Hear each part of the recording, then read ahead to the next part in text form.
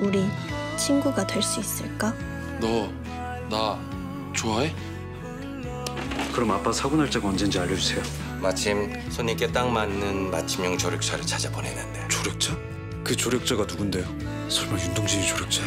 회장님과 한 달간 계약한 것 같은데 그 전에 나가는 게 좋을 거야. 돌아갈 방법을 알아야지 내가 돌아가든가 말든가 할 거 아니냐고. 저기 잠깐 시간 있어? 미안. 널 좋아하지 말았어야 했는데 내 실수야.